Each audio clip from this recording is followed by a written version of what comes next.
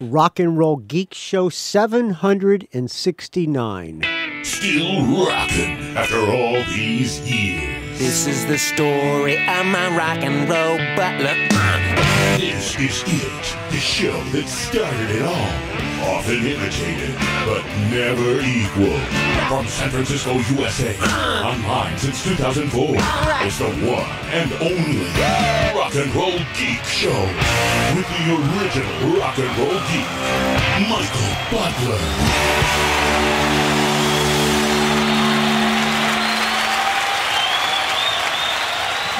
Welcome to the Rock and Roll Geek Show. My name is Michael Butler. Thanks a lot for joining me. I really appreciate it. Today is Saturday, June 10th, 2017. I'm recording the show and it's 4:21 p.m. I have a very special episode for you today. I have been working on this interview for quite a long time now and haven't told anybody about it because I didn't want to A I didn't want to jinx it and B I was so afraid that somebody was going to have put this interview out before me. So because uh, this interview is very special to me because this is my real rock and roll hero, my, the person who's responsible for me picking up the bass guitar. This is Pete Way of UFO, Waysted. Pete Way, the rock and roll legend. He has a new book out called A Fast Ride Out of Here. I read it last weekend, I, I, flew out to see my daughter in uh, the Tri Cities area of Washington, and I held back. I started to read it when I first got it. I, read, I just went through a chapter, and it was really fast. And I said, "Nope, I'm going to put this thing down. I'm going to read it on the plane to see Martina." I read it in the time that I was gone, and boy, was it a good book, man. I on the way, I finished it on the way back, and the last chapter, I fucking cried my eyes out like a little baby. It was such a good book, man. Very touching, very honest, and full of great rock and roll stories from the great Pete Way. So that's what I have for you tonight. I have an interview that I did with Pete Way. I just got off the phone with him, as a matter of fact.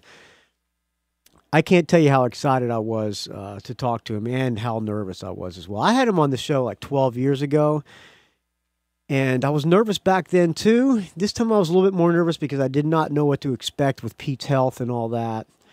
Uh, but he turned out to be a very, very nice guy, as he was the first time. And I can't tell you how much my love for this guy extends. Words can't describe how much I love this man, okay? So I'm going to shut up. I'm going to play a song and then go right into the Pete Way interview. Uh, there's a little cliffhanger in it, and uh, stick with the interview throughout the entire thing, friends, because uh, at the very least, it is.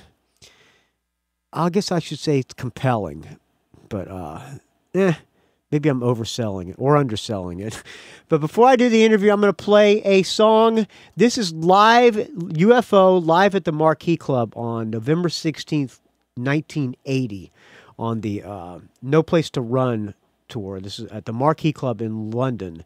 This song is Letting Go. Let this roll, and then we will go right into the Pete Way interview. Thank you everybody for listening, and thank you for everybody to everybody for donating. Please keep the donations coming. They keep the show alive.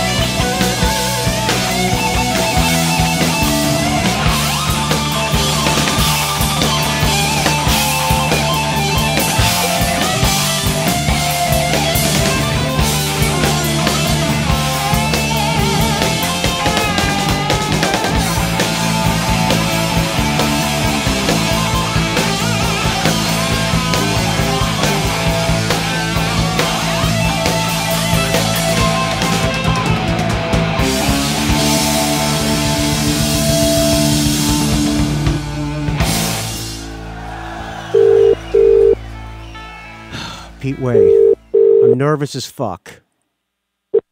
Hello. Hello, Hello, Pete. It's Michael Butler. is that Michael? Yes. Sorry, I missed your Hello? call. Hello. Can you Oh, hear? Michael, I'm Pete. Hi, Pete. How are you doing? I am. I've been trying to get hold of you for about 15 minutes or more, Oh, but uh, I was a bit worried. Um, I don't know. You know, it's like transatlantic uh, lines and that, but I Yeah. thought, well, I'm not calling Mongolia, so I was hoping I would get you. yeah. But, um, Well, I, anyway, I have you how now. are you? I am super great. Could not be better, especially now that I'm talking to you. I talked to you about uh, 12 years ago. I think you were living in Columbus. Uh, you, I, I talked to you and Finn. So it's nice to talk to you again. Yeah, yeah, probably so. Yeah, yeah. Thanks for calling back. It was just a little bit of a. Um, I was worried because uh, I don't like to let people down, and uh, especially as San Francisco is very close to my heart. Oh, So, um, you know, so um, well, I'm really anyway, Mike. I'm really honored to talk to you. There's probably no bigger fan of yours than me. Um, when you, I, first of all, I finished. I just finished your book. I was on the plane coming back from visiting my daughter, and I Yeah, I finished the book on the plane. In the last chapter, I just started crying uncontrollably, and I was embarrassed on the plane because I don't make my head swell. Don't make my head swell, Michael. You know, but I appreciate that It's very much. really, really a good book. It took. I there's a few. But it's a true, it's a true book. You know, had my ups and downs, as my friends know, and things like that. And I've had the illnesses, you know, because of, uh, sadly, uh, you know, I had the cancer and then the heart attack. and that. And uh, I can't say like I'm completely a normal human being, but I try my best to be. how is I think I'm best described as eccentric. well most most uh, brilliant people are. So how is your health now? oh, it's much better, much better. But I'll tell you what. Um, when I was a junkie, I used to have needles all over me all the time, trying to uh, get it in and all that. Now I have hospitals trying to put needles in me. Yeah, right. um, uh, In the book, you talked about having so. you carry had- on, Michael. I'm sorry. In the book, you talked about having so many needles you had to eventually shoot into your groin, and when you couldn't shoot into your groin anymore, that's when you had to stop doing. Uh, Yeah. Yeah, yeah. I'd have uh, veins removed when I got back to England. And that it was. Uh, it's not a clever experience. It was just didn't seem anything unusual to me because I just thought, well, I've got a problem and I'll deal with it. And like anybody that becomes a, a junkie, it's like I'll deal with it tomorrow. No. Yeah. That's the best way I I can describe it. Well, you are the reason that I even that I ever I'm a bass player, and you're the reason that I picked up a bass, and you, and you are probably my true rock and roll hero. I'm sure. I think you told me that when I last spoke to you, to I'm- be honest. I am sure a lot of people I you can remember speaking to you. Yeah, the one kid that kissed your ass. I remember much. speaking to you, so uh, I can remember pretty much. A lot, I, a lot of people don't think I remember things, but I really do.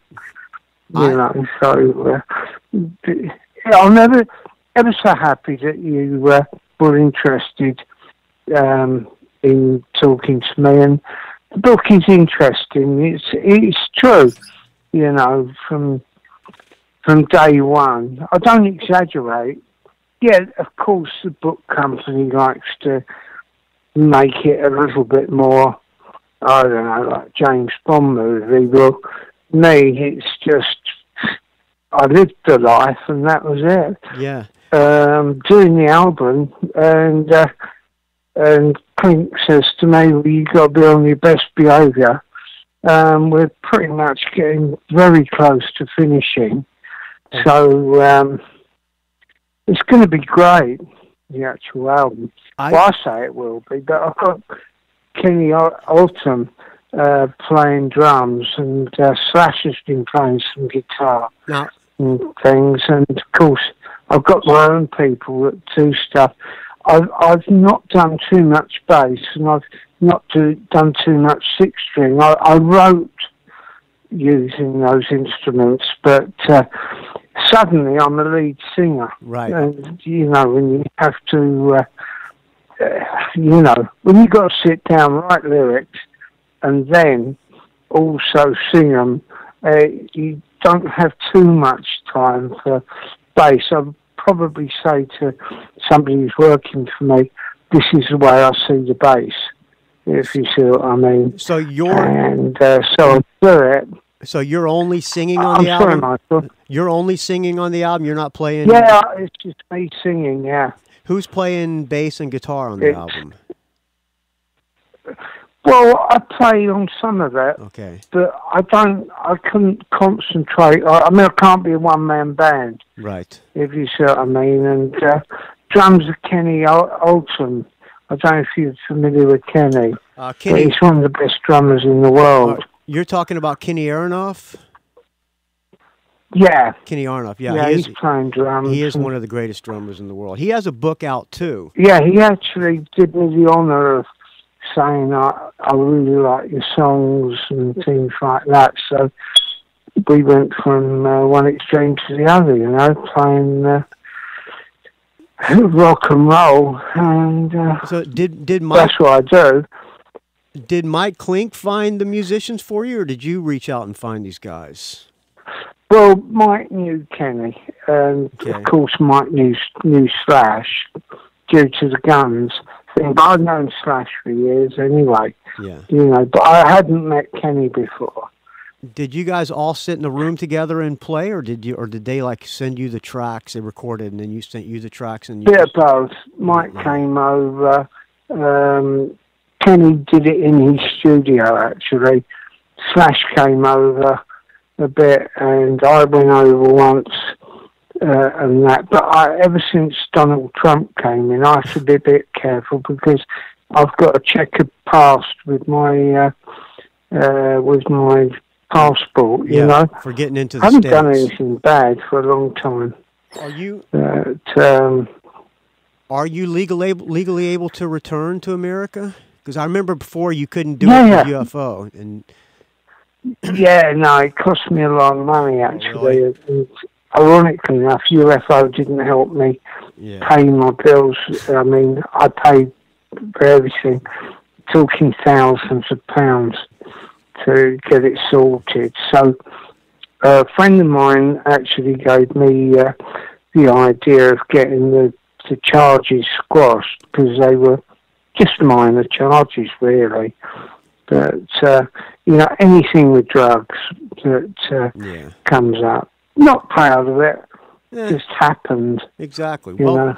what's good about the book is you know some of these books they talk about some of these other musicians in their books they talk about dr- doing drugs like it was a badge of honor and stuff yours is just more matter of fact and it comes across way more real than uh, than most of these other rock books that seem to be Well, it is really, you know, it's like, I'm, I'm no, I don't certainly want to promote people taking drugs because, quite honestly, I was lucky in a way because when I started to get an addiction, I had the money to afford the addiction. Some people don't, and it destroys their lives, destroys their families, things like that. Me, sadly, my wife died, you know, and uh, that was, well, pretty awful, you can imagine. yeah So, um, situations like that, they don't happen to just anybody. They happen to me, I can tell you. Well, in the book, at the end of the book, uh, you hadn't. I, don't, I think this was finished before you had the heart problems. That's right, isn't it? Yeah. In the book, you, at, at the Um, at the end of the book, And also, I had prostate cancer. yeah, yeah. But you had the prostate cancer. That's in the book, but nothing about the heart problems in the book. Yeah, I was flying back from Germany because I was working with Tommy Newton um, on a a vocal. In fact, we're trying to get now time to put the final vocals together uh, because everything is just about ready. Um, but obviously, um, I'm not Pavarotti, but I do sound cross between Bob Dylan and God knows who else. Um, you know, That is, I, I, and Bon Scott. but that's one of the cool things about uh, the last album. Amphetamine is one of my favorite albums of all time. I think I did a, track by track review of that on the show, and your voice makes that album. Well, that's which real. so great. That's, the words are, the words in that, they're all real. I, I lived it. It's like, I just thought, well, if Tar- Tarantino can write it, so can I. exactly, exactly. So, you know, so I wrote, I wrote the whole thing, you know, just, because it's, in a way, UFO has become a little bit more sort of middle of the road Right, or something. right, I don't know. Um, and that, and anyway, because of my attitude, and I was a little bit on the, uh, um, put it like this, you wouldn't have employed me in your studio. So, uh, uh, basically, there was a falling out, and it was like, straighten up or fuck off, basically. Sorry to swear. Um, and in the end, it was just as easy for me to uh, not do it because I knew I had a problem. And um, the book isn't to say, oh, look how clever I am, I have a problem. The book is just really a, a story Yeah, you know. And I don't knock any of my friends or anything like that, talk about arguments and that. It's just reality. what I like about the book is, uh, you know, it's kind of like it's it's a cross between you talking, then it then it mixes some oral history in there. By oral history, I mean it gets other people's um, input about you know their side of things about what happened at the time. Like there's um, Yeah. Joe Elliott's in the book talking about. Well, I, and- I, I wasn't trying to impress anybody, that's for sure. You know. But I think some of my friends kind of got a bit like, he's going to die type of thing. And, uh, but I always managed to know exactly what I was doing. But I spent so much money, it was ridiculous. My wife died in the end, so it wasn't, you know, it's, if you want to write a, a film on it, it's like you go, Christ. In a way, my book is a little bit exaggerated. I know that because they try and emphasize certain parts in the book that I probably, when you're numb and uh, you're not necessarily 100% there, you, um, um, I just accepted it. I mean, cocaine I accepted because I thought it was just like nothing. Like going and buying, a, you know, some candy or something, you know? Yeah. In at the end of the book, you talked about at the end of the book you were st- you said that you still do coke occasionally and you still drink every day. Is that still the case?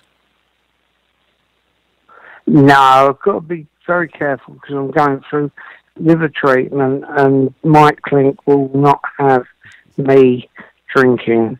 When I say that drink every day, what I mean is it's more like I have some wine with a meal. Right. It's not like uh, waking up and knocking back a bottle of wine. So I probably could do, but uh, a friend of mine said to me, who's got a actually a heroin problem that I'm helping him out with, and he said to me, he said, you know, you've got to remember that you and I have an incredibly high tolerance, you know. Uh-huh. So Yeah. uh, it's not like if you have a drink, you're going to fall off the wagon and you and sink into uh, despair or something, anything like that. No, I don't. I don't go around the bar or anything and knock back the, um, you know, knock back booze or anything like that. I, I don't drink spirits actually. On a very rare occasion, I drink spirits, and that's sometimes just. Uh, and then sometimes I don't drink for a long, quite a long time. When I came out of rehab, I didn't drink, but I one or two reasons that I guess I like a, I like the taste of it, but Yeah, exactly. it's not a big deal to me. Um, I I like to be normal, and being normal. you know, and I I really really I want to work and I want to play guitar and uh, I want to play bass. Uh, some of it on tour, I probably won't play a, play a lot of bass. I might play some six string, but I will play things like, um, you know, uh, crazy, like, get round here while I want to practice for the beach. Yeah. God, the jungle's the only thing that you believe in. You know, I mean, it's like that. Uh, but I can play that, so I do a bit of both Right. and then certain things do become the impossible. But nothing's impossible until you try practicing.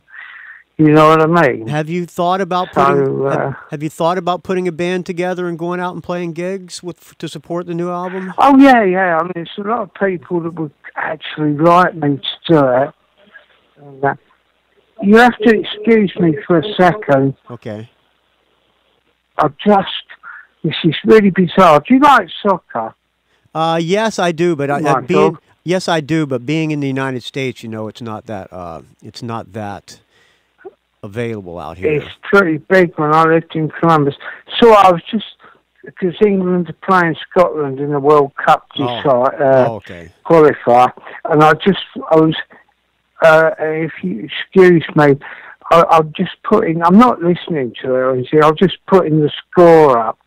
That was all. And what's the You score? know, What's how, the how you do sometimes. what is the score? England are winning 1 0 against Scotland.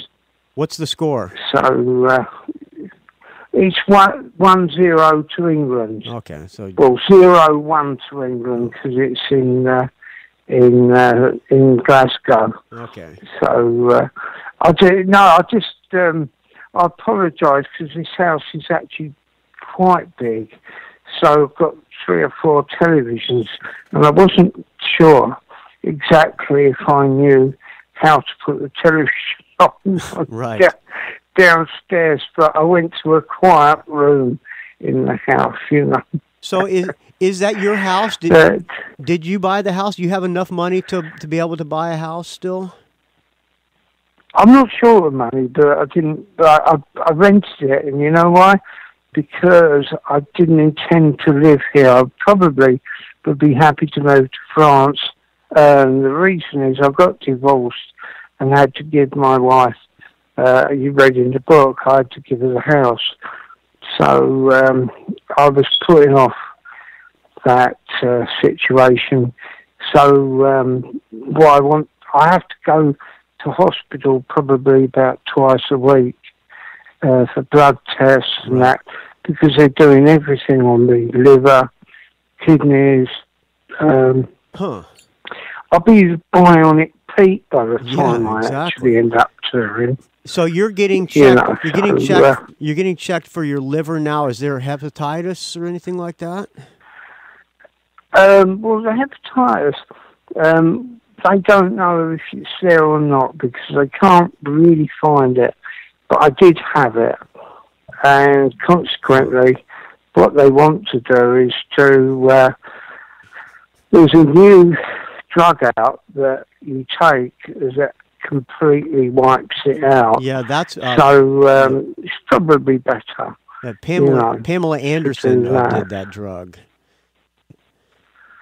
Yeah, well, apparently there's something to do with Tommy, but I don't know. If, that all women say that. It's like that bastard gave it to me. but Right. Well, supposedly she took. actually, you know what? I think it's, I think it's a mixture of possibly even, you know, using a note, rolled up note and snorting up coke. You know. Well, supposedly she took that drug and now she's cured of hepatitis because of that drug that you're talking about. Yeah, yeah, yeah. Um, she did. She took two months off. Well, not off, but she did it. No alcohol, That's why I hardly drink at all. Um, I drink every now and again just for the fun. Well, not the fun, but you know, sometimes with food and that, it's just Well, what I want to do, Michael, is be normal. Yeah. Well, food tastes better with. I mean, beer tastes better with food. I know that because I like to drink some beer every now and then, every day. Exactly, yeah. Well, I'm vegetarian. I want to be vegan, Huh. but I am, you know, hundred percent best behaviour, and I'm not. A, I mean, I do eat seafood, which is very hypocritical, if you see what I mean, Yeah. because fish have lives of their own, you know. So uh, I don't know. There's some, you know, some animals are put on this earth to, to be eaten. Yeah, but I, you know, yeah, I agree with you, but same time, I don't believe in it. If you see what I mean, Yeah. I'm so. I love animals, and uh, what money I do have, I do give some money to animal charities, things like that. Um, you know, I live very frugally, even though I live in a very nice house in a very nice area. But it's, you know, I, I don't go out particularly in that unless unless I can charge it to somebody. Right. So, uh, no, I'm not like as bad as that, but you can imagine. Um, but I, I sit and watch football, do things like that, and I practice on the guitar. You know, I've got my six string here. I could play you. Uh, uh, I could play you. Um, think I'm going crazy, if you like. Um, I would love to. um, live, you know, kids around here won't practice with the preach. Lord of the Jungle's the only thing that they believe in. You can't buy smack on food stamps tonight. Smith and Wesson feels so damn good in your hand. And then, there ain't no Alice here. There ain't no Wonderland. So anyway, Yeah, on you on, heard it, so on- don't worry. on amphetamines. Great. You know, well, when you you know. when I when I found out you had cancer, I did a I did a uh, episode on this show. I prayed to God really hard and really sincerely that you would pull through, and you pulled through. Then when you had the heart problems, I prayed hard again. I did another episode and I prayed hard, and you seem to have come through with that. I, am I'm telling you the truth here. And I'm not trying to kiss your ass, even though I am. Every Yeah. sing, every single day, I say a prayer to God that, for your health. Oh, you're a good man. I'm just look. I'm tough as I'm tough as nails, as they say. So it's all right. Everything. It's really weird because I go to the hospital. That's why I'm down here renting because uh, Bournemouth, the Royal Hospital, has been so good to me. But they kind of they get more of a kick about my celebrity status than they actually do. Uh, I can get appointments immediately. Oh, nice. I can get to be seen, same with teeth and things like that. Yeah, in the book you talk about some guy. In the book you talk about one of the doctors uh, actually um, brought his guitar. I think I think you said he brought his guitar and started playing along to UFO songs, something like that. Yeah, I've got one of my doctors.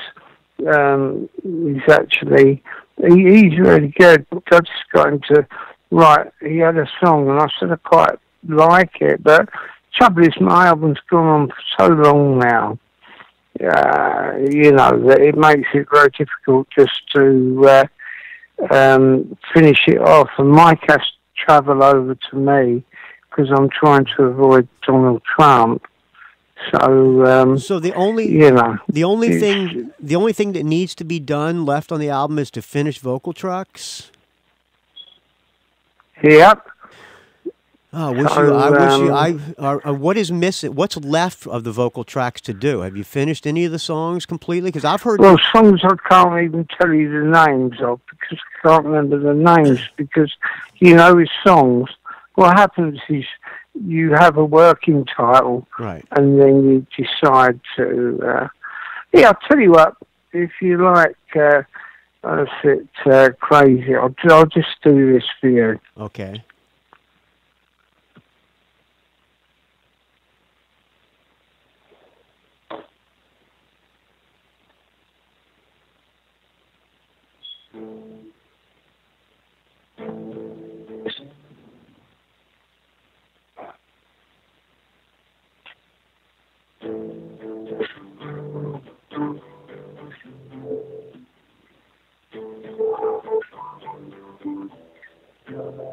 To remember it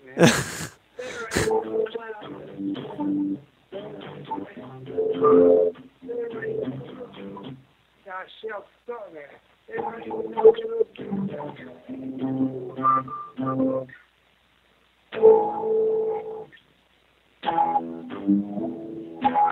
Cops come around in there flashing limousines.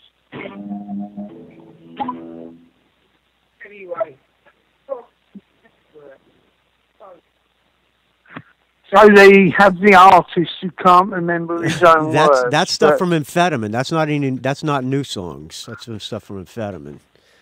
No, no, I can't play really. To be honest with you, I've lost track of the uh, this one. I'm not saying I've lost it, but um, it's just I've changed the um, or Mike's changed the um, what's the word uh, the arrangements, stuff like that. Kenny's done different drum arrangements, so. Um, Have, I mean, the only other thing, uh, have you heard the two songs? The, um, Yes, I have. well, I've got Slash and somebody else. I heard that so one. you get, oh, I can do this for you. I can do this for you. Uh, remember, I can't remember them. right. Okay. Hear me. I can hear you.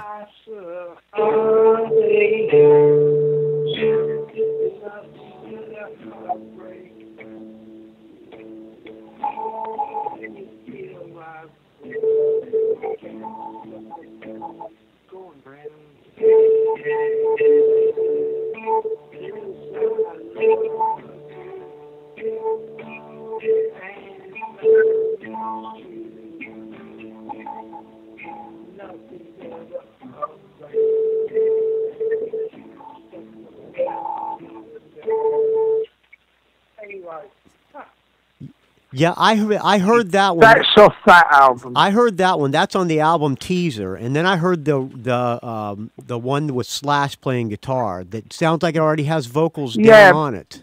See, I can't do I can't do Slash's guitar, Well- so um, So- I'd have to play. Um, it's it's actually tongue in cheek. It's supposed to be a joke because The I had acquired an incredible drug problem. Yeah, that's I on. suppose compared to most people. How ma- how many songs? So How many songs are the vocals completely done on, or complete or completed? um, about eight or nine. So how many? There's so, So, there's we're maybe trying to go. there's maybe three. We're going left. for twelve. You're going okay. So there's three songs left to do vocals. That's yeah, it just depends. Depends what we finish, you know, um, because I honestly don't know at the moment um, what's. Uh, it depends what Mike wants to do, so I can't honestly tell you. Um, Do you, do you think the album? Scotland are just equalised, by the way. Oh, great. Sorry, I'm sorry about that. sorry. What quarter? That's all right. What quarter is it in? What period's it in? Oh, it's just um, well, it's in the last fifteen minutes, so Okay. England can probably come up and rustle up a winner. Right. It just that was an excellent free kick that the Scottish did, but this is like very unusual for England and Scotland because not unusual. It's like World War Three, you know. So uh, Right. you know, it's quite ri- funny, really. They are they're rivals. I'm assuming. Oh, Scotland and England, yeah. Yeah. They still think there's probably uh, um, you know, we're trying to take over Scotland and all that. In fact, we do own Scotland, but uh, you know, Where's the, I um, who is the home team? Where's the game at? Well, it's in Glasgow. Okay, so it, so Scotland Park. Scotland the home team. So th- so England is in front of a, a hostile. Yeah, crowd. so it's like one-one now. Yeah, So 1-1. England will come back. Hopefully, they'll get some backbone and come in. It's it's one of those games that it's always, you know, like uh, I'm sure with uh, American football, I'm sure these sort of games the sort of thing that um, uh, you know it's so close because of your rivals yeah. and that in this home city. Well, England's such a small country, so you're going to get that, you know. Well, that's what makes But the game fun. Nonetheless, man, So there's only three songs Oh. left to do. Uh, so the, uh, do you do you know when the al- is the album going to come out? or no, actually, three or four and some BVs, backing vocals. Is the al- That's got to be done. is the album going to come out this year? Please say yes. Yeah, I hope well, so. need the album out as soon as possible. Yeah, please finish That's it. the hardest thing. It's just, uh, well, it's not my fault, but um, obviously when I, I had to have uh, radiotherapy, stuff like that, and when I had the heart, I had to take stuff easy. So that's why I'm either going to France or I'm going to uh, finish it in London, Huh. and then it will be done. Because it'd be nice to have it out in September. You know, Yeah, particularly because a lot. Well, the book's been number one for a couple of weeks Oh, really? uh, in England. Huh. Yeah, so you know, it's like, uh, well, everybody likes that sort of thing, don't they? It's a bit like, but actually, it's reality. Did you buy yours off Amazon, I or did you get one sent? no, I bought it. I paid for it. I can't. I don't remember what the where I I got it. Uh, book depository is where I bought mine. I actually paid for my book, Uh, and I read it. yeah, in- no, the only reason I asked, you being a journalist, I would have uh, thought you'd have got a copy because, you know what, I didn't have a copy.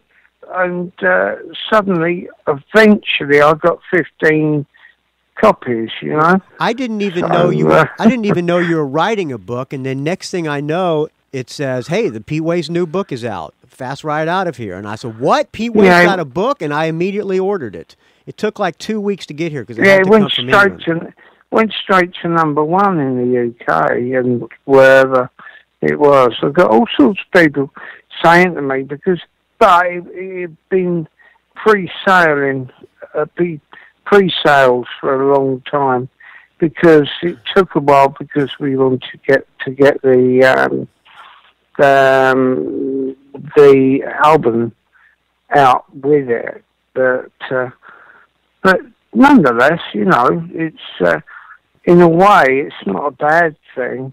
So I've got to get my either over to France, um, and we're going to use a, a mobile studio, or we're going to um, do it in London. It's it's a little bit up in the air, but we'll get it done. And uh, um, some of my uh, health issues uh, come up as to whether or not I had to be in hospital and stuff like that. Hmm. I'm pretty pretty healthy, you know. It's just it's more checkups now than anything else. So um, Did you get any feedback? Did you get any feedback from anybody about the book, like maybe from Phil or, or anybody like that? no, I don't speak to him particularly. I heard last I heard You you guys, last I heard you guys lived kind of really close to each other. Do you still live near him? No, I was in Brighton, but no, I'm not. Um, I live in um, Christchurch, which is just outside of Bournemouth. So, uh, you know, it's one of those things that uh, um, I, well, I don't chase everybody up, and they're on tour more than I, I haven't been on tour for four years, Yeah. but I, I've got people that are going to go on tour with me. Oh, England have just gone 2 1 up. So uh, we're winning. If you've got a bet on England, yes. Uh, this is a good interview, isn't it? Go, well, I'm doing a review on um, uh, on the foot, football soccer results. Hey. But I've got a, I've just done a, a thing for Burrn magazine, right? Uh huh. And um, Japan. the, the um, they uh, Burrn did a, a big feature, and the guy that I did the interview with said, "Well, he said uh, actually, he said he lives in France. He said, "Oh well, I I do interviews um, rather on sports." And I said, "Oh." And I've known him for a long time, this guy called Howard Johnson. So I ended up talking to him about sports more than I did because he kept saying, I've got 800 words to write. Could we go back to the, uh, you know, Right. like the uh, the lines of coke and all that? And you you cook? Me, yeah. Do you what do you what do you do? You, I'm vegetarian, so I try and be vegan. uh, so you do you cook all vegetarian? Is your wife vegetarian too? Yeah. So what do you cook? What's the, what's the Yeah. thing that you, what's the thing that you cook the most? Oh, just vegetables and Uh-huh. um, actually, sadly, I, I eat prawns, things like shrimp, you Yeah. know, that sort of thing. But I, I want to get rid of that. I want to just eat, um, oh, um, blooming, uh, what's the word? Uh, you know, um, soya, Just soy. you know, Yeah. so, Yeah. uh, Well, shrimp, prawns, prawns, and fish taste so delicious, though. Well, you know, I try and do my best and try and live a reasonable life. It's difficult sometimes, but I don't hang around with the people that I can get high on my own supply because I was spending so much money on it that it wasn't the best thing in the world to do. So, um, you know, what can you say? Yeah. Um, I, all I want to do is go on stage, be really, really good. Uh, Mike Clink will kick me out the studio and go home if I fuck up on this album. For these, all he needs is another three or four words. So, you know, it's, I mean, words, I mean songs. Um, so, uh, and the other thing, of course, you've always got to go through things to see how it works. You know, see if it's uh, if there's anything that needs repairing, plus backing vocals as well. So, Well, you know, Michael, it's uh, the two bits I heard, been on, a long time. the two bits I heard from the new album sound fucking fantastic. So I hope you hear him get this thing done, man. I can't wait. Oh yeah, it's about going to be about. I want them to at least twelve, maybe fourteen, but maybe keep some for, you know, like I don't know the B side back in the day when you did a B side. Do you at least have scratch Uh, vocal? You, you at least have uh, like scratch vocals on all of the songs?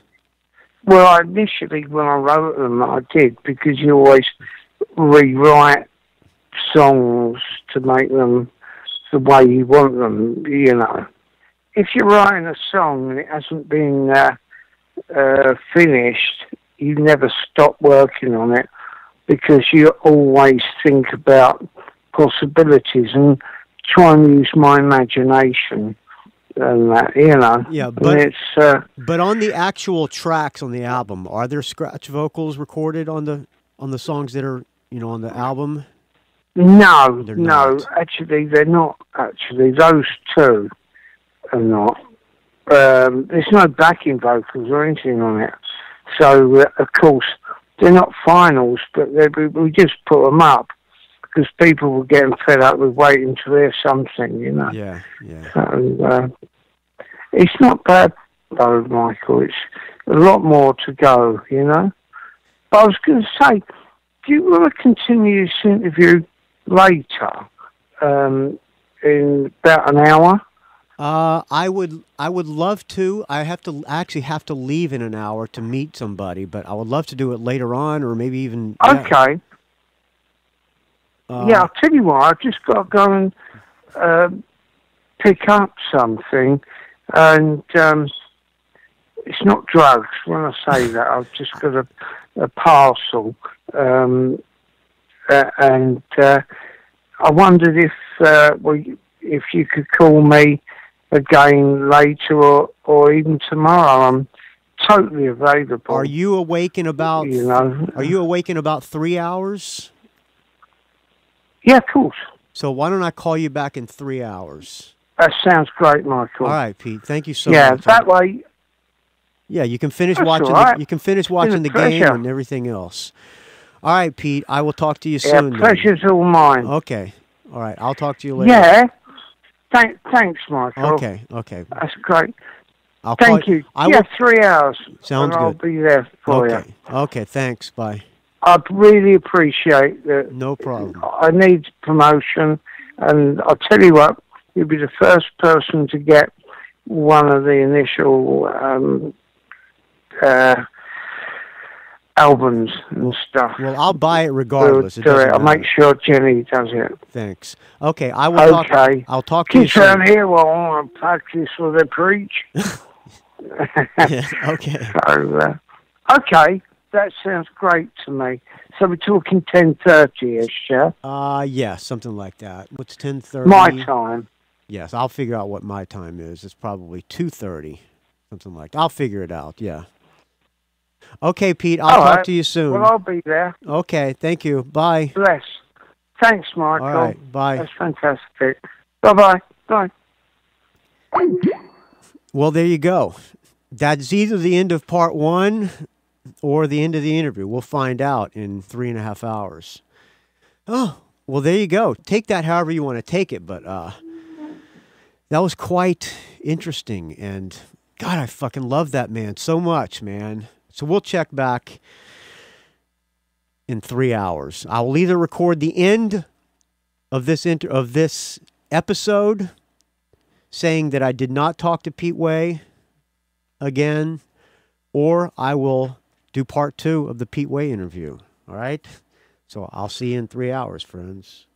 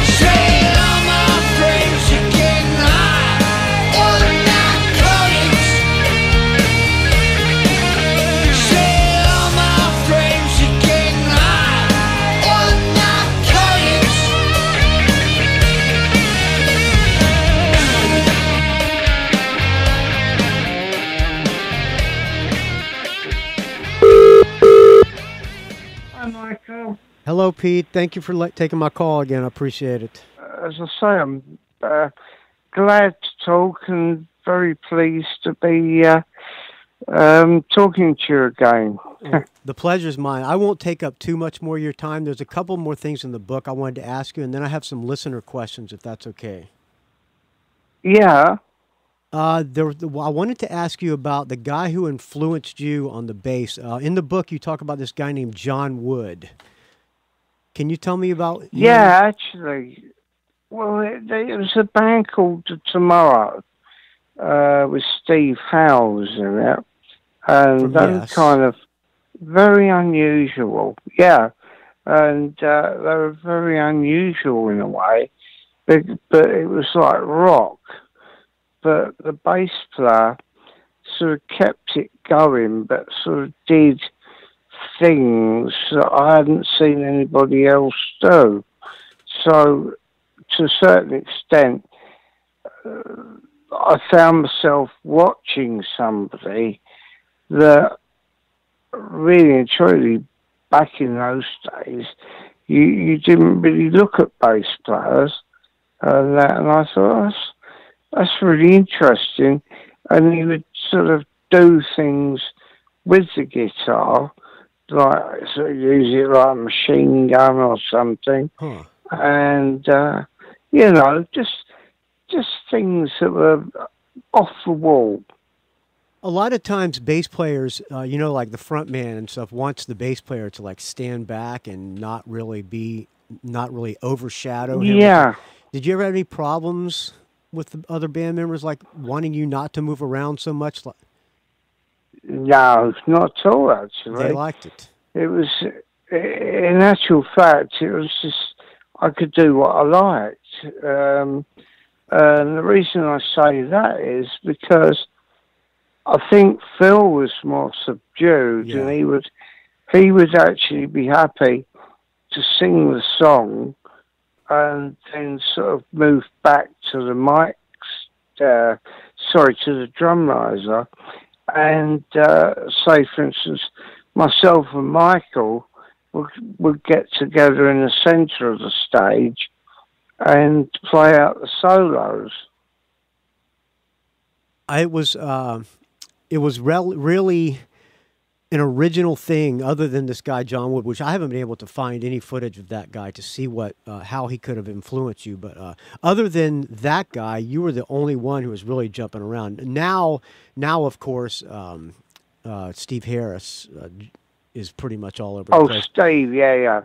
Well, Steve used to watch um, watch me play, you know, in uh, the Marquee Club in Yeah. the early days, and then of course they did shows with UFO um, in still their early days, and also on their American tour that we were actually headlining, and I don't know. Steve and I became friends um, because Ross Halfin, uh, the photographer, brought him up to a show in Birmingham, Yeah. and um, I don't know. We just hit it off, you know. You know that those He was telling me sing. Sorry. you know that those guys, um, their intro tape has always been, uh, or at least for a long time, has been Doctor Doctor. You know that, right? Yeah, yeah. It's amazing, actually. Yeah, it's great. I uh, I use it. I mean, uh, wouldn't be the first thing I'd think of doing, but uh, they now do it, and it's like an anthem for them. When you when you took when you uh, played with Ozzy for a short period of time with Tommy Aldridge on the drums, did Ozzy Yeah. did Ozzy and the rest of the guys mind you jumping around so much on stage? Um, Ozzy didn't mind. Um,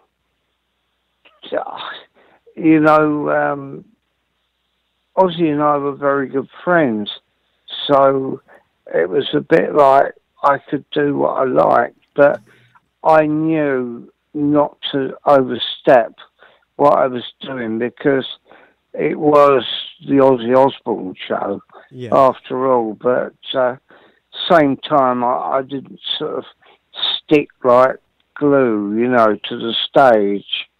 What did Tommy Aldridge think of your playing?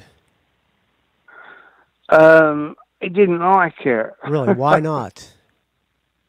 I don't know. It didn't do a great deal.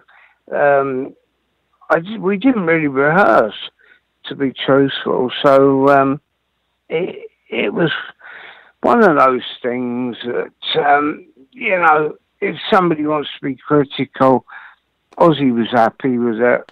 Um, but you get a thing. So you've got to remember that I was travelling with Ozzy, and so obviously they were travelling as a band. Right. You were on Um, bu- you were on Ozzy's bus. You were on Ozzy's bus, and the rest of the band had their own bus. Actually, no, I used to travel in a, in a Range Rover with oh, uh, oh, really? With Ozzy. Oh, okay. and Sharon. So um, that was, um, you know, it was one of those things. We basically lived um, together. Well, not I say that. We went to the hotel together and went to the show together, and and that. I, I think with Ozzy, some people were just associates, if that's the best way I can put it. Um, And you were his friend. and yeah, exactly. Yeah, that was that was the difference. You know, you get people that you know basically paid to play. I was actually paid to just hang out. I think really more than uh, you know. what Um, What did Sharon think about you hanging out with Ozzy so much? I would imagine you would be a bad influence. Sharon encouraged it. Oh, really? to be honest, because um, she trusted me with him um, in a way because she knew I knew the limitations, uh, whereas Ozzy, to a certain extent, Did not. didn't uh, didn't have limitations. Although he seems to think that I I was the one that uh, um, had no boundaries, Right. um, whereas Ozzy was very much um, controlled by Sharon, except Ozzy would fight anything uh, that she would tell him to do. And he, she, like, for instance, we go for a drink, she'd say, Well, just have one and come back. And she'd say to me, Well, just have one and then make sure he comes back, won't you? Um, and uh, of course, I'd say to him, um, "We better go now." Then we was, and he'd go, "Is the Pope Catholic?" Yeah. And he'd go, and then we'd go and have another drink. Right. Hold on a second, please, Michael. Okay. I'm just going.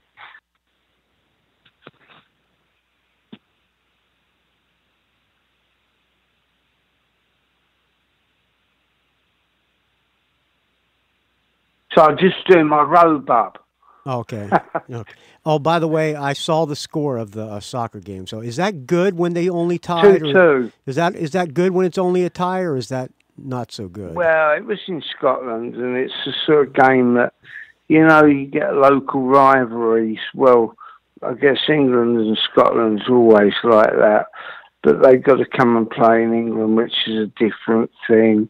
England did dominate the game, but uh, in a way, you know, it's like the goals didn't go in, and uh, Scotland had a couple of uh, free kicks and. Um, and scored from those. So it was it's difficult to say with football. It's um, you know a game can change with one goal, but England equalised in the last three minutes. So um, it's always interesting, but uh, sometimes it's uh, a little bit um, a bit of a strain on the heart. Yeah, well, I would imagine that um, Scotland having the home field advantage would uh, would would have been picked to win. Yeah, and you've got ninety thousand Scotsmen. So, so it's kind of good that England tied it up. Oh yeah, I mean it wasn't bad. It would have been nice if England had won because they they were actually playing better football, but Scotland played uh, to defend and uh, and then break through and get a free kick or something like that. And you know, uh, sadly for England, the free kicks went in. So, uh, but England came back. It's you know sometimes teams get too comfortable, and uh, they hadn't played for a while England because the Premier League's only just uh, stopped. Oh, okay.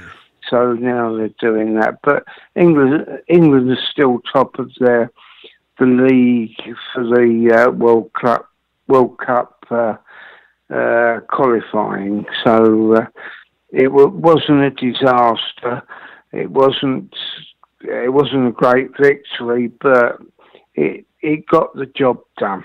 Really. I don't know much about um, uh, soccer, but I feel the same passion that you do with baseball in America. Yeah.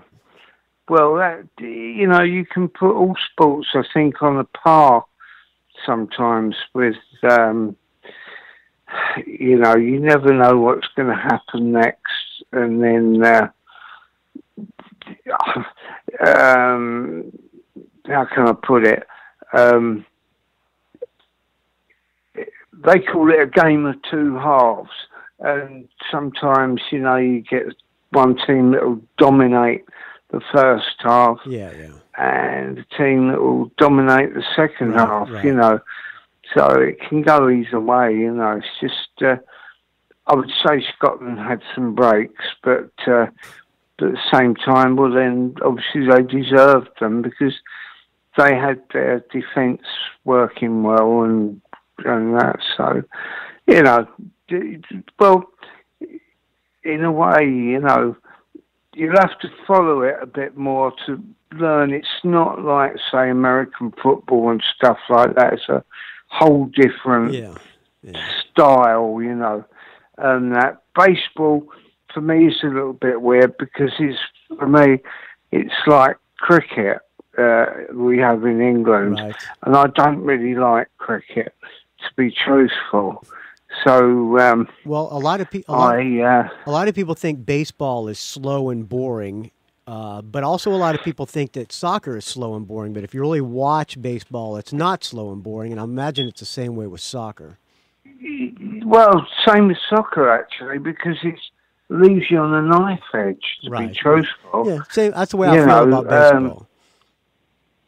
Yeah, I mean, I wish I could honestly tell you that I could enjoy baseball, but I lived in the States for quite a while, and um, I could never really follow it because it reminded me of cricket, yeah, uh, which they play in England and around the world actually, but has been a bit slow and more of a sort I don't know, like um, sort of Sunday sport or something like Yeah, well, that, you know. yeah. I love, I love baseball. Though. Well, unfortunately, Yeah, I mean, it, back to rock I and roll. really wish I could honestly say that I understood it, other than just watching it and running about and that. But yeah, I grew up with soccer. yeah. I same way with. Um, I grew up with baseball. Same thing. Yeah, exactly. So I mean, you're, you, it's like somebody explained to me about American football, and when I said, "Well, I really don't see it," and they said, "Oh, you've got to think of it as a game of chess, where you've got the big guys in the middle that stop the the ones that are, who are attacking, and Right. you know, it's it's it's very clever, a lot more clever than I thought of sort of people that just knock each other over because it's in England they have a game called rugby and um, that I can never follow. But that is actually they don't wear any outfits or anything, but they just run at each other and God, you know what I mean? You, you think, uh, you know, to, I wouldn't want to be doing it. You know what I mean? Right. Not not unless you have a broken nose Yeah, or exactly, broken dislocated shoulder, Yeah. that sort of thing. eh? Sort of uh, something a bit dangerous, Michael. Yeah, I hear you. You ever you still play soccer at all? Um, I don't actually, not since the illness and Yeah. that. Occasionally, you know, I, I mean, I, I can kick a ball, but I don't get the chance really um, because I, I have to be careful because of my heart. Actually, although that has obviously improved uh, considerably, and um, so I no, in truth, but I follow it and I go to watch the team called Aston Villa that I support uh, quite a lot because I've had time on my hands, obviously, with not um, we're not finishing the album yet, you know, because had we've had to have breaks because I had the uh, uh, radiotherapy with the uh, cancer Right. and things like that. And uh, but I'm okay now, you know. Um, the heart thing, I had to have my heart put back in the right on the right time because it was running a bit uh, disjointed, and uh, that's it really, you know. But uh, other than that, my love is music. But it gets a bit boring waiting to finish off your album. But uh, same time, that's why you do books. But I got asked to do the book. It wasn't something that uh, uh, I I thought about Who, it. who asked you to uh, Who asked you to do the book? Um, actually, the book company, and a guy called Paul Rees and uh, Jenny, my uh, manager and wife. So Paul Rees is uh, is the guy you did the book with. Rees. Did Paul Rees? Did you did you just I tell him the stories and he wrote them down? Yeah, yeah, pretty much. And then he turned it into a proper story. I mean, it was. I basically did it like an interview, and he would pull out the questions, and we spent I don't know several weeks actually doing it. You know. And And I wasn't trying to, um, how can I put it, uh, sensationalize it. Actually, if anything, I was actually trying to minimize the um, some of the stuff that went on well, there's a lot of I just there's a lot of stuff about the about the you know the alcohol and drugs and stuff. But there's a but if you're a, yeah But there's even more great rock and roll stories in the book. I mean, if you're a fan of music in general, there's great music stories, and and especially if you're Well, that was that was my main concern because I, I mean, I, I'm not a big fan of talking about uh, drugs and stuff. I mean, it's probably well known that I've had my uh, fair share of them, but uh, and, and sadly that different people have died associated with me in it, but it's Yeah. not something that I I would say I'm proud of. Speaking You know, so uh, Speaking of that, a lot of people always wondered about the because there were all these rumors about which you clear this up in the book. There's all these rumors about Bon Scott. Uh, yeah, you talk about that in the book. Uh, he actually did not die the night he was with you, correct? actually that that is actually wrong. Exactly. Um, yeah, he did. He wasn't actually with me. You see, Bon came down to the show, um, and Bon, being long-time friends, because us and ACDC played together. Obviously, you, you know, you get a friend comes in, and you say, "Come in the dressing room, and have a drink, and that," and you chat. Um, this was before and after the show. this was around the time of No Place to Run, right? Yeah, Yeah. yeah. We were playing, I think, four nights at the uh, Hammersmith Apollo. Right. I think it's called the Apollo now. It was used to be The Odeon. the Hammersmith Odeon, Right.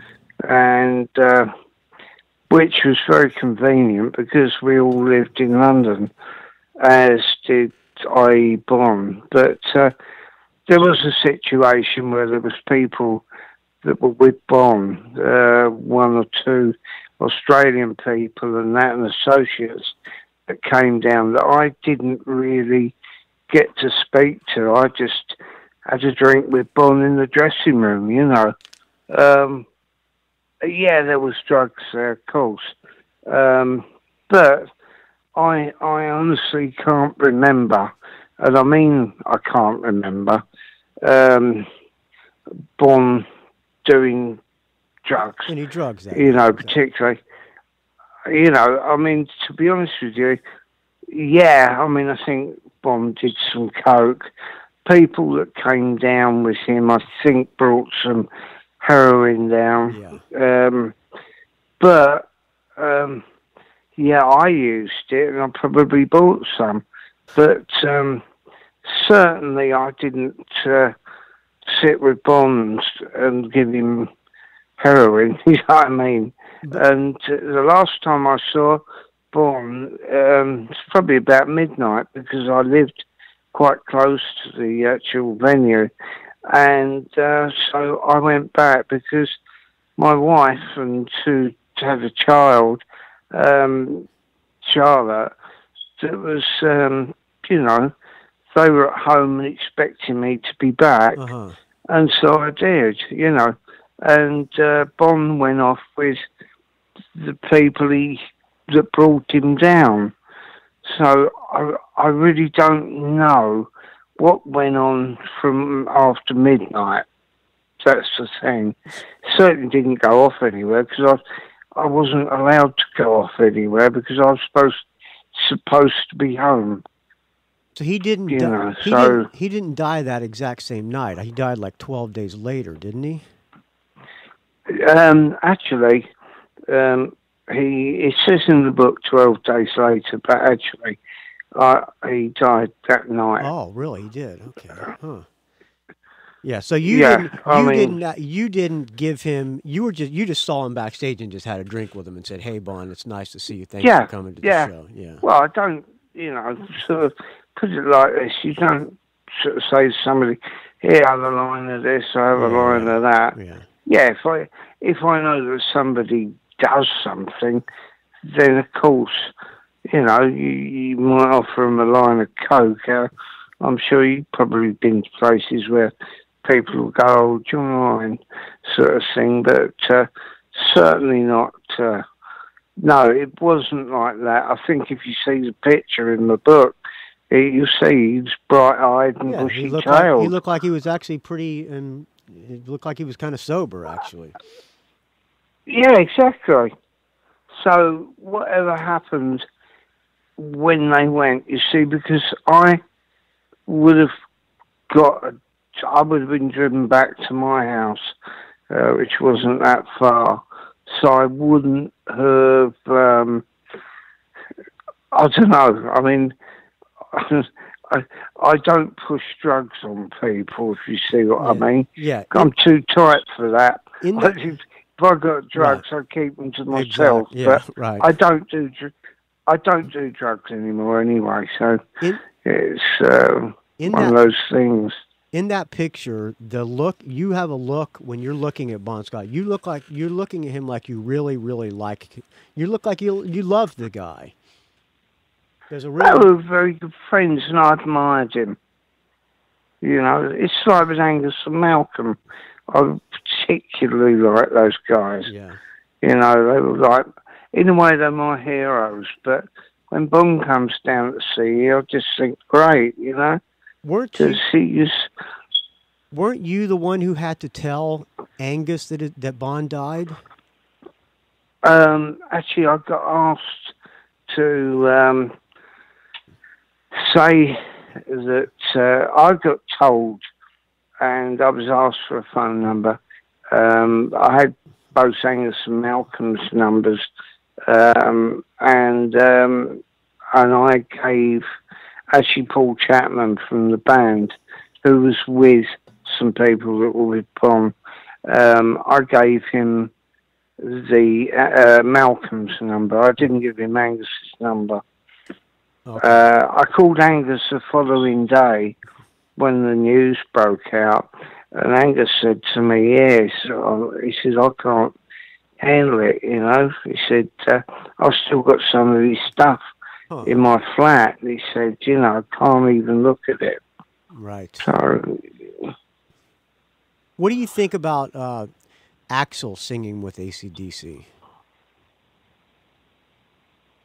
I think Axl's a great singer, but because I work with Mike Clink, I can't say anything else. But Right. I, I, I like Guns N' Roses. yeah. So, um, you know, I like anybody with energy. Well, and yeah, in my opinion, he just doesn't fit with ACDC. You know who would be good with ACDC? Uh, I'm sorry to get off ACDC. Uh, the guy from Rose Tattoo would be good in ACDC. Oh, yeah, yeah. Oh yeah, I, I, um, oh god, I forget his name now. Angry, Angry Anderson. Angry Anderson. Angry Anderson. Yeah, yeah. But I, you know, Angus said to me at the time when Bon went, he said they just felt like giving up, Uh, yeah.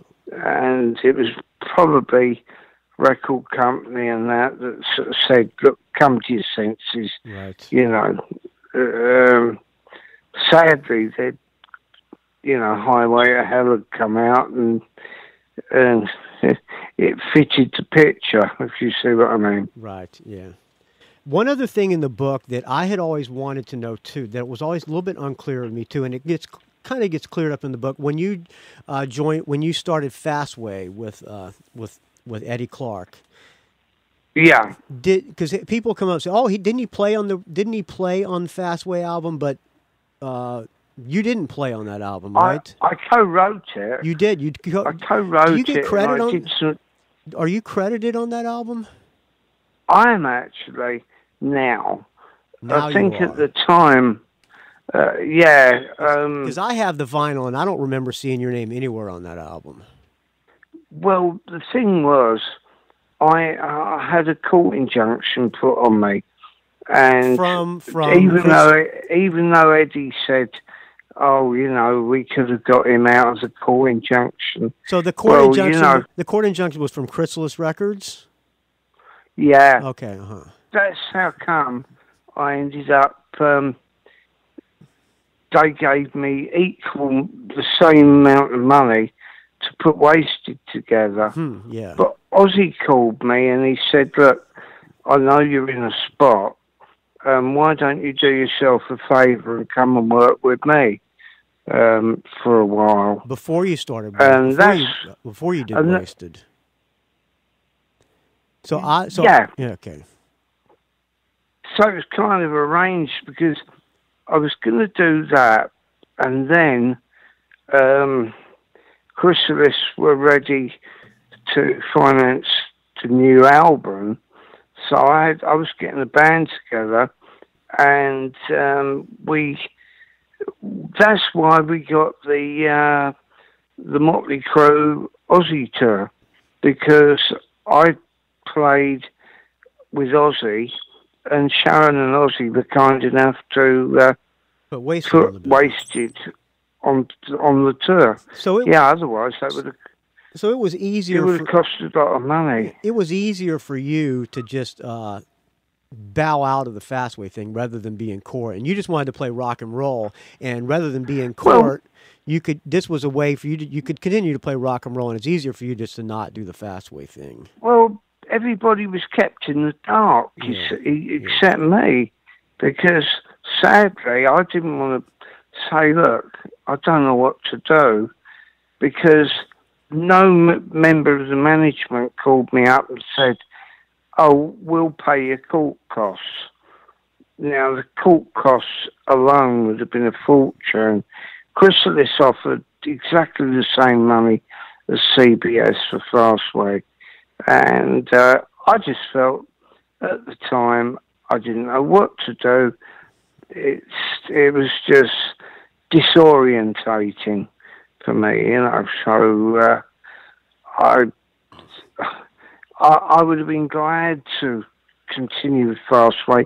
I was enjoying it. I mean, we Eddie and I started it from scratch, you know. So I didn't want to let everybody down.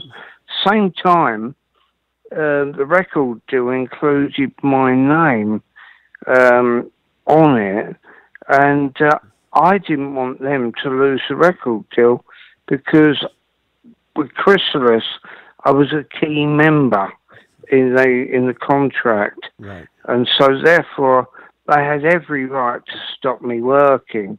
It's a bit like a, a sportsman who's in a team, you've got a contract, and you can stop them from working, you know. Yeah, it kind of takes the fun out of rock and roll a little bit. Well, worse when you get you have to sign something at the front door, and it basically says six months of work from scratch has gone nowhere. So I actually, that's one of the reasons I didn't ask for credits on the album because I wanted them to get their the money back that Uh-huh. had gone into it, you know, as well because it was very difficult thing for me to do. I can't personally afford to stand up and fight for it, you know, and say, no, no, I'm not going to do it because I didn't have a chance. And that's why when Ozzy called me uh, and said, look, why don't you come and play with me? And it would just take the heat off, you know. Yeah. Do you get tired of you get tired of talking about this stuff? Not really. Oh, good. Sometimes it's good to get it off your chest. Yeah, you're good. Well, that clears it up. Did, was it hard to play the Ozzy tunes? Because they're a little bit. Uh, the style was a little bit different Yeah. than UFO. Was hard. Yeah, you had to learn. You had to I- learn them almost we had- immediately. Well, to be honest with you, yeah. I mean, we didn't even have a rehearsal. We did just did a, a sound check, so I had to get it right. And uh, sadly, the uh, you know it was that was it. First day. I mean, it's, it wasn't the ideal rehearsal situation where you get a week or something to get it together. Particularly, um, I was in at the deep end. Yeah. And really and truly, I would have had to, well, I find it very difficult to change my style, is the best way of putting it. I think I, Um, I think I saw a picture of you using a pick with Ozzy, and you'd always played with your fingers. Did you play with a pick when you were with Ozzy? I, I always, actually with UFO, I play with a pick and fingers. Oh, you did. Okay.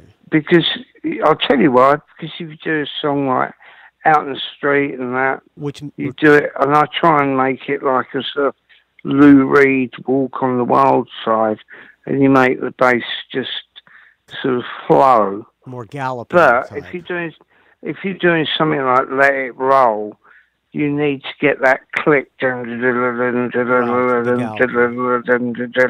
yeah. and a Dunlop uh, pick.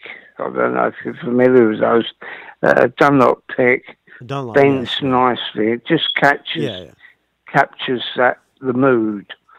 But if you try and do it with your fingers, sometimes it can sound a bit clumsy. Right. Yeah. I, Now, I see that. Steve Harris, for instance, plays with his fingers. can play with his fingers, and he does the and gallop he stuff. can, and he does all that. And but it's just what you get into. I mean, I I preferred to use the pick, and one of the reasons I used the pick was because when I was working with Ron Nevison, and I think with, even with Leo Lyons, um, bass players were using picks in the studio uh, because sometimes the accuracy with more- the fingers wasn't the same, and you get more definition. yeah, you get more clarity with a pick in the studio. Exactly, yeah.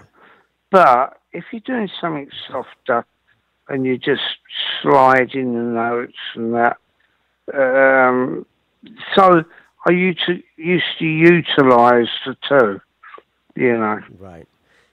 Well, Call me clever, but I'm not. I don't want to take up too much more of your time, but speaking of Ron Nevison, I, I, I hate to keep it on UFO. I'm sorry. Oh, which by the way, I saw, I saw you guys on. I think this was right after Randy died at the in Orlando, Florida. Uh, I think it was on the Mechanix tour. Oh right. I think. Yeah, Uh, yeah. Was still Ozzy Was still? that Tangerine Tan- that was a Tangerine Bowl. It was like the World Series of Rock or something like that. So I, forget what That's they call it. it, yeah, yeah. Yeah, that was. Um, Well, that was pretty hard because, you know, I got friendly with uh, Randy. I've known him since rehearsal days before even the first Ozzy album was out. So, uh, you know, it was very saddening.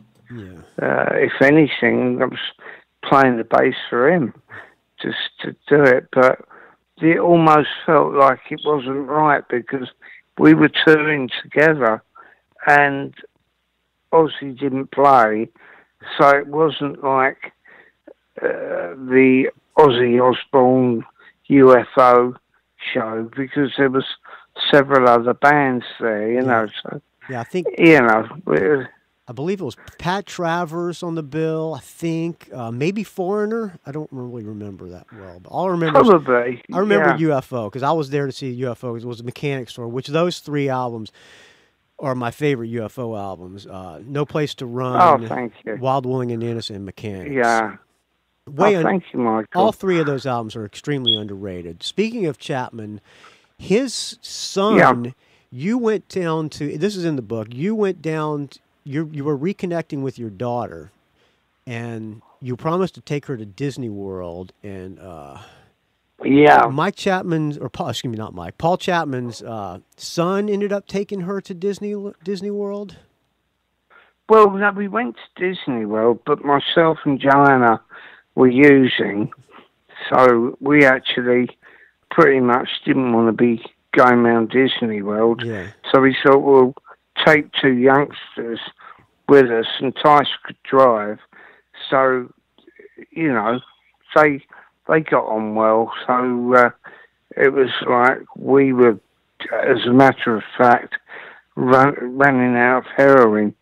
So um, we really didn't feel well enough to go around Disneyland. In fact, we were more likely to need to go to Disney Hospital. Right. yeah. Do you ever? You uh, still? Are you? Do you ever have contact with Paul Chapman anymore? Um, I haven't because I haven't got his number. We had a bit of a falling out because, um, sadly, when the Waysted album came out that he was working on, Right. um, he didn't do any solos. And um, Fin, the singer, um, decided, uh, in no uncertain terms, that um, he'd been to Florida with Paul to work on it, and he said, "Oh, he's not going to do it. We got to get somebody else in."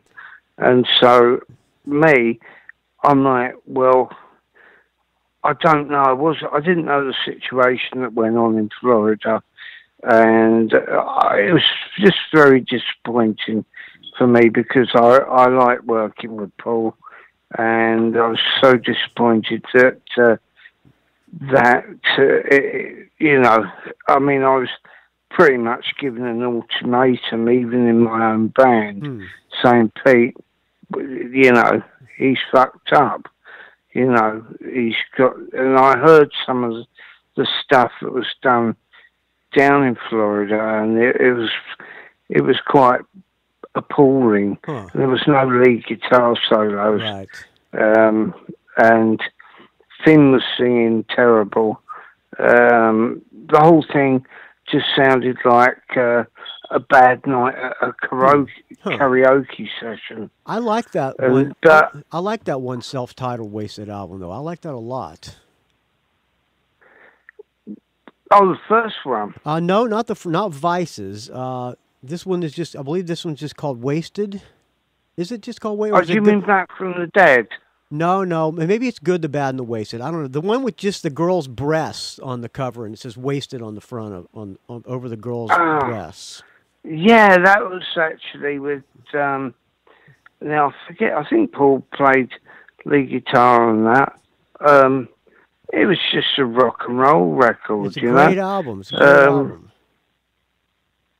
Oh, I'll tell you what, you're my you're my hero. Thank you, Michael. Well, It was, um, you know, it, it went down well. I think it actually charted in in England reasonably highly and things like that. Uh, but um, rolling out the dice is that on? Rolling out the dice is on "Good, the Bad, and the Waysted." What, what's on that? Yeah, Heaven Tonight might be on that on that album. That's an EP. I think. Heaven Tonight. that's- a really good song, Yeah. actually. I was just watching the one, the redid version with that uh, when you had they put together a, like a glam or a hair metal band and, and you guys that what is that Save Your Prayers put a smile Yeah, yeah, put a yeah. smile on my face uh, watching you because you looked so fucking cool in that video. The rest of the band, eh, they look kind of poser, but you looked super cool. I'm a world's I'm the world's worst critic of me. So, um, one thing I do have to do uh, before, uh, obviously, uh, vocals are going to be absolutely well. We can't finish it without me singing because I've written the songs and that, so they're ready to go. Um, but um, I've been playing six string more than I have bass, but I know that I can quickly pick up Yeah. the bass and you know it's it comes as second nature. Yeah, It's like swimming or riding a bike. especially you know? if especially if you're playing guitar. I mean, guitar. You know, you're still you're still keeping your fingers oh, going Oh, yeah. somewhat. So Oh, absolutely. Well, I think you you caught a little bit of my out of tune guitar earlier this afternoon, didn't you? yeah, well, it's about Well, it's about the This atti- afternoon, my Yeah. time. it's about the attitude more than the uh, in tuneness. Yeah.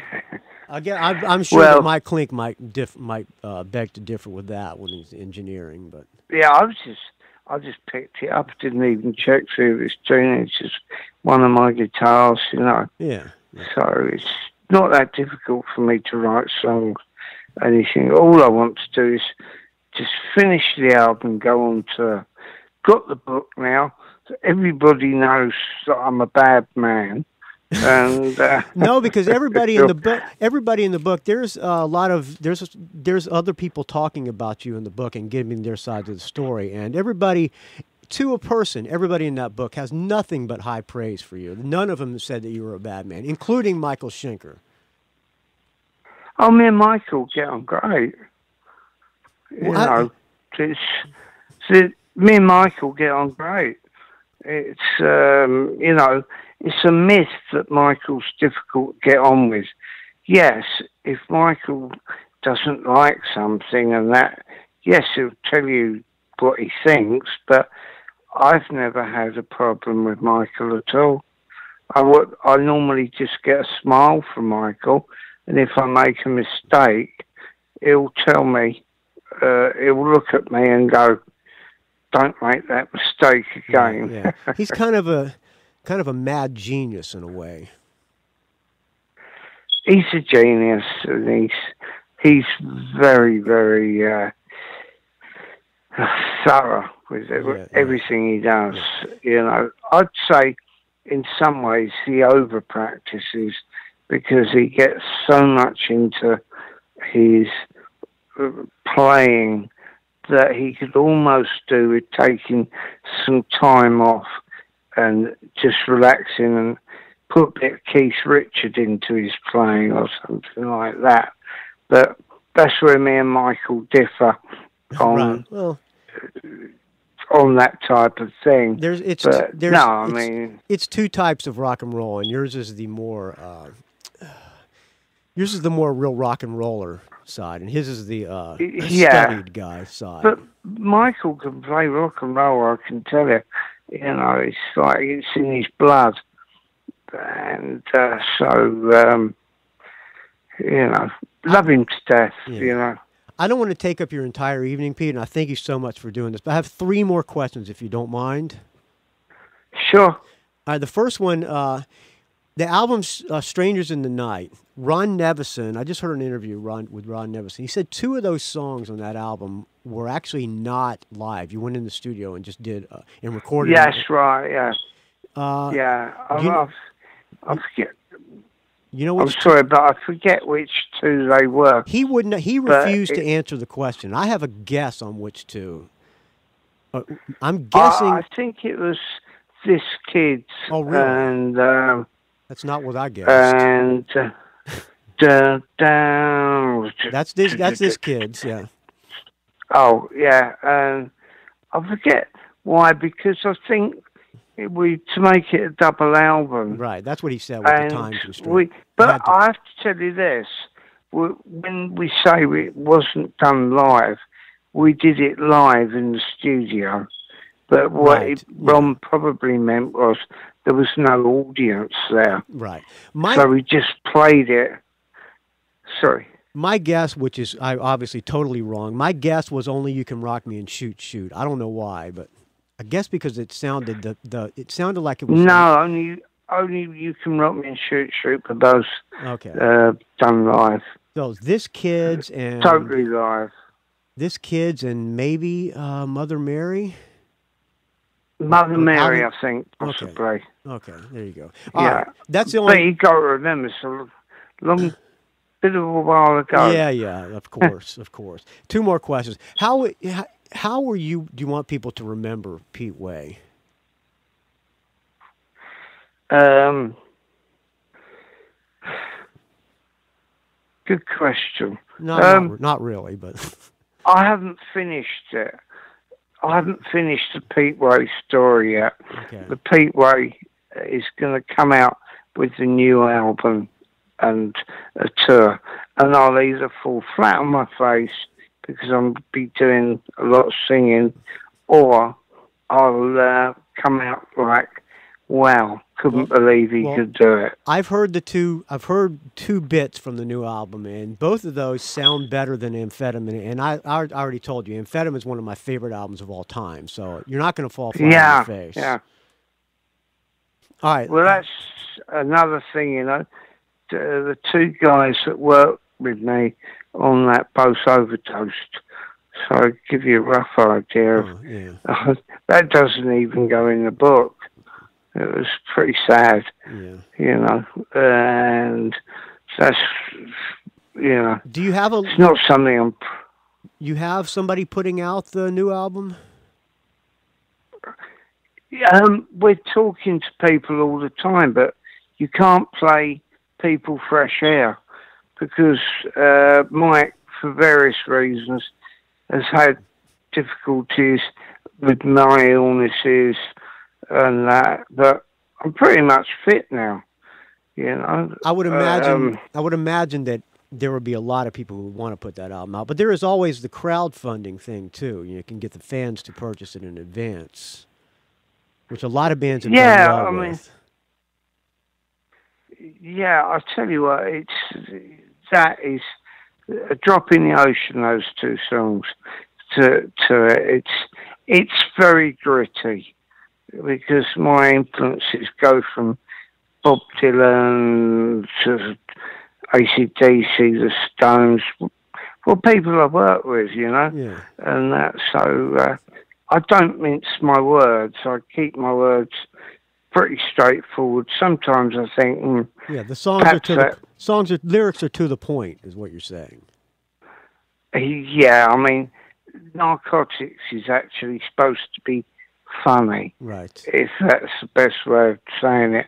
Because all my friends again are getting uh, on narcotics, and that, you know. Yeah. It was Slash said to me, he said, you know what, Pete? Because that's when he was playing on that one. Yeah. He said, uh, you know what, Pete? And I love the bit where you see Peruvian cocaine. See, it's tongue in cheek. Yeah, kind of. Yeah. It's not. It's not supposed to be serious. Exactly, You know, yeah.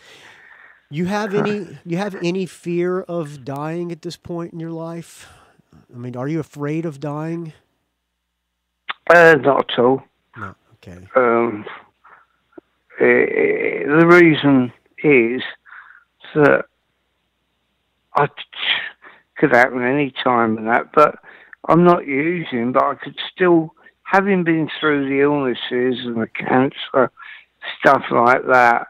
I mean, I don't fear it, and quite honestly, going back some time, I, I would think, Christ, I'm, I'm going to have a heart attack from sheer use of large amounts of cocaine, and and then also if you've got a needle that's packed full of smack and you do it, you've got to know what you're doing.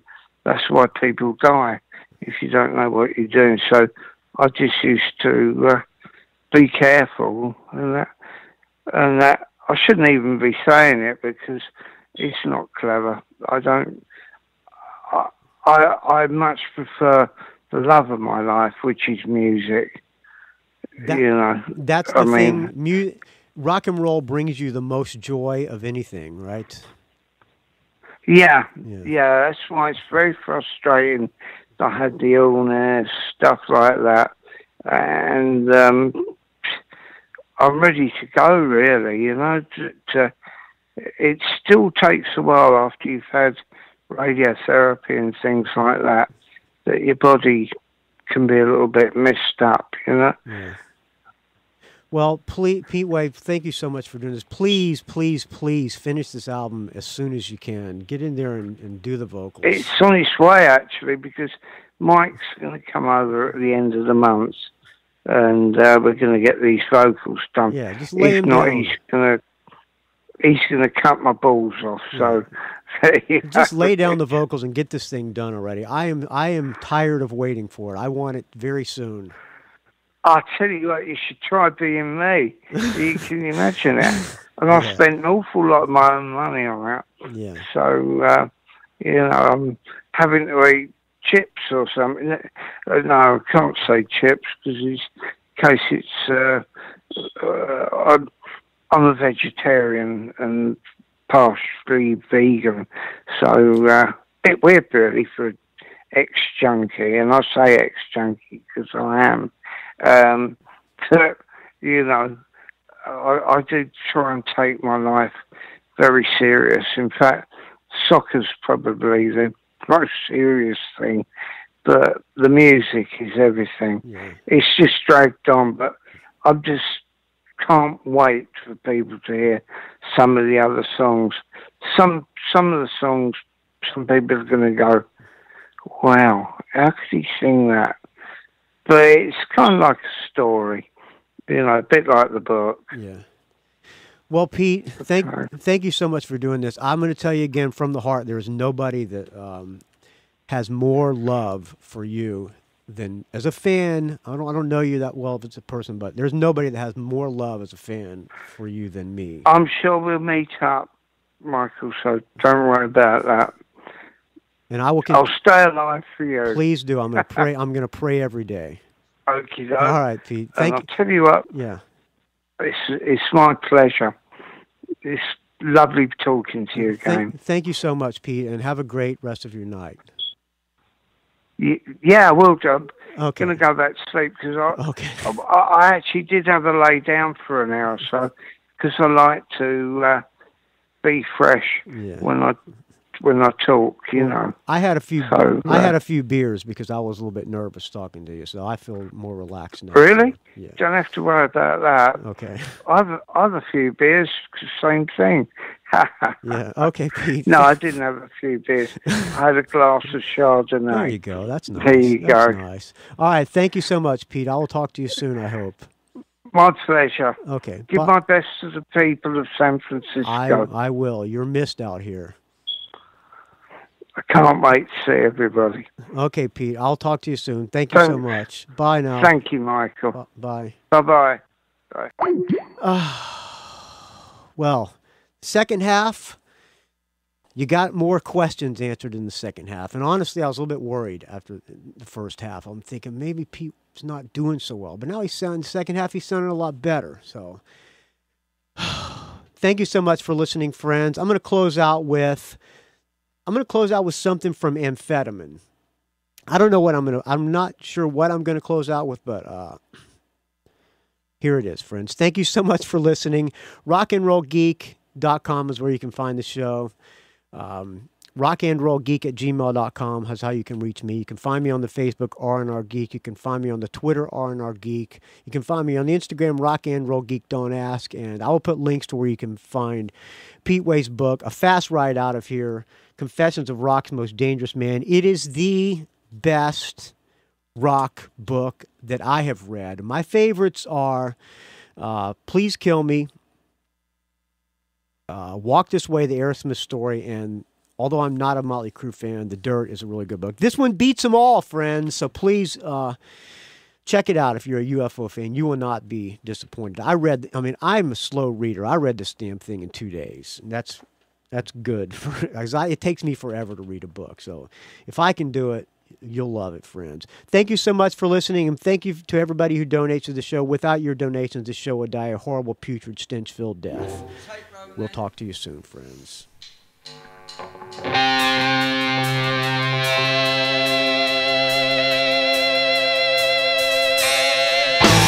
don't hear one, practice what I preach. God, the jungle's the only thing that they believe in. Can't buy smack on food stamps tonight. Even Western feels so damn good head.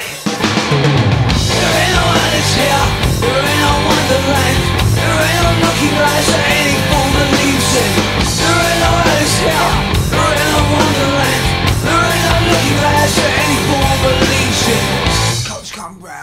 flashing limousines. The only Vegas life you'll ever see. So much simple with a smarter and a gun. Keep their fucking life out of you. There ain't no others here. This ain't no wonderland. There ain't no little This ain't no wonderland. There ain't no little glass that ain't.